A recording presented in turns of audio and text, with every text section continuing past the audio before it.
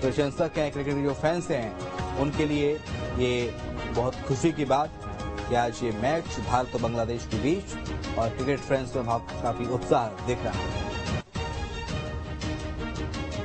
हम पहुँच गए मादर इंडिया क्रिकेट स्टेडियम पर, जहाँ भारत और बांग्लादेश के बीच अंतर्राष्ट्रीय ट्वेंटी मैच कुछ ही देर में शुरू होने वाला है। ये देखिए फैंस की भीड़ स्टेडियम के दरवाजे पर पहुँच गई है और ये सब इंतज़ार कर रहे हैं। जल्दी से जल्दी इन्हें स्टेडियम में घुसने का मौका मिले।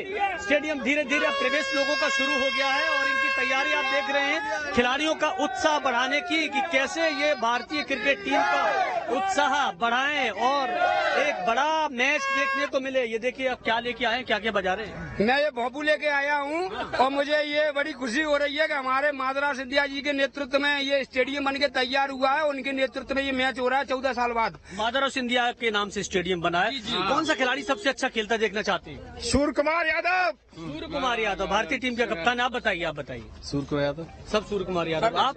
अभिषेक शर्मा। अभिषेक शर्मा। क्यों? क्यों? नया है टैलेंट उसके अंदर अच्छा खेलता भी है। अभी अच्छा अभी खेलता है। जिम्मा में खिलाफ उसने सेंचुरी भी मारी थी। सेंचुरी मारी थी देखिए ये ये भी आप, आप भी मैं देख रहा हूँ बिल्कुल आप तो भारत का तिरंगा अपने गालों पे बनवा के लाए हैं बहुत सुंदर लग रहे हैं। ऐसे ही सब लोग बना के आए तो देश का तिरंगा झंडा हमेशा बुलंद बना रहेगा। क्या चाहते हैं इस मैच में? इस मैच में ये चाहते हैं कि सबसे अच्छा शुभम दुबे को खेलते हुए देखना चाहते हैं। हाँ। लेकिन सुनने में आया है कि वो चोटे हैं हाँ, वो नहीं खेल रहे हैं, वो नहीं खेल रहे हैं। तो उसके अलावा सूर्य कुमार यादव और रिंकू सिंह। रिंकू सिंह। हार्दिक पांड्या है बहुत सारे पांड्या को बॉलिंग में सबसे ज़्यादा फेवरेट है कि बॉलिंग के लिए देखा लग रहा है आपने बहुत क्रिकेट खेला है। देख खेले खेले खेले? क्या करते थे बैटिंग की बॉलिंग बॉलिंग करते बॉलिंग फास्ट बॉलर के स्पिनर स्पिनर अच्छा तो अभी कोई ऐसा खिलाड़ी है जो आपकी जैसा खेलता हो टीम इंडिया में? हाँ हार्दिक पांड्या। हार्दिक पांड्या। हार्दिक पांड्या इनके जैसा खेलता था। आपका कोई फेवरेट प्लेयर है? सुमन गिल। सुमन गिल जी। लंबे लंबे छक्के मारता है। बिल्कुल मारेंगे आज वो। विदेशी खिलाड़ियों की कमर तोड़ देती है। बिल्कुल तोड़ देंगे और आज तोड़ेंगे। बाहर गिरेगी बाउंड्री से बॉल सीधे बाहर। स्टेडियम बाहर। गिरेगी यहाँ आके गिरेगी पहाड़ी पे यहाँ के गिर सकती है।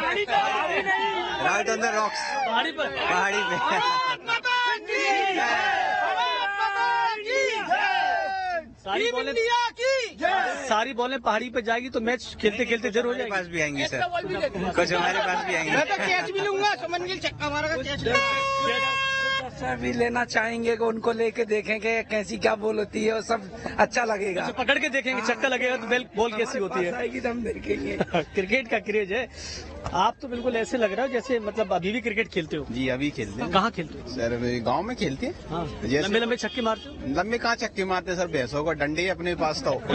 भैंस चराने जाते हैं उसमें। कपड़े की गेंद बना लेते हैं और खेलते हैं। जंगल में क्या अपने यहाँ स्टेडियम तो वगैरह है नहीं साहब? बिल्कुल अपने यहाँ अपने यहाँ जो स्टेडियम है। स्टेडियम है क्रिकेट के लेकिन स्टेडियम में हर किसी को खेलने के लिए मेहनत करनी पड़ेगी पसीना बहाना पड़ेगा टैलेंट अपना दिखाना पड़ेगा तो इस स्टेडियम में भी खेल सकते हैं और दुनिया के सबसे बड़े क्रिकेट मैदान में भी झंडा बुलंद कर सकते हैं। बशर्ते ये कि आप अच्छा खेलिए अच्छा खेल दिखाइए। और यही तो क्रेज है क्रिकेट का कि लोग यहाँ पे इंडिया इंडिया कह रहे हैं। और यही देखिए यही चीज़ें उत्साह दिखाने के लिए माता की लीजिए थोड़ी देर में इसी मैदान पे आपको दिखाई देंगे।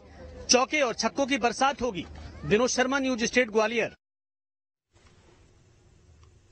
तो चौदह साल बाद ग्वालियर में अंतर्राष्ट्रीय मैच खेला जाएगा। इसको लेकर केंद्रीय मंत्री ज्योतिरादित्य सिंधिया ने कहा है कि ग्वालियर के लिए ऐतिहासिक पल है। पहली बार ग्वालियर में कोई टी ट्वेंटी मैच होने वाला है। मुझे उम्मीद है यहाँ आज का मैच बेहद रोमांचक होने वाला है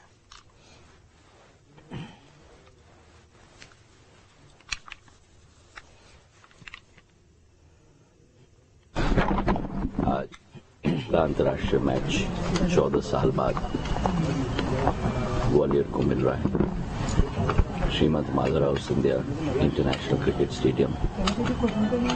भव्य रूप का स्टेडियम आज ग्वालियर को सौगात पूर्ण रूप से मिल रही है।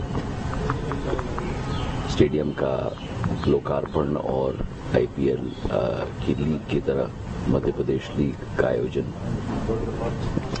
इसी वर्ष किया गया था। पर आज पहली बार ग्वालियर को टी ट्वेंटी भी मिल रही है। और ये एक अपना एक इतिहास आज बनने जा रहा है। कल मैंने स्टेडियम का निरीक्षण भी किया और विकेट भी अच्छी लग रही है आउटफील्ड भी अच्छी लग रही है। लगता है एक रोमांचक मैच आज आयोजित किया जाएगा। और भारत में दशहरा आमतौर पर भगवान राम द्वारा रावण पर विजय के उत्सव के रूप में मनाया